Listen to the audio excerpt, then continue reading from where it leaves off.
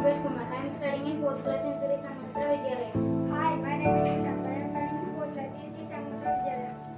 Hi, my name is Shankar. I am studying in fourth class in Sri Samudra Vidyalaya. Today topic is don't search, Google it. This is email. It is a free email service developed by Google.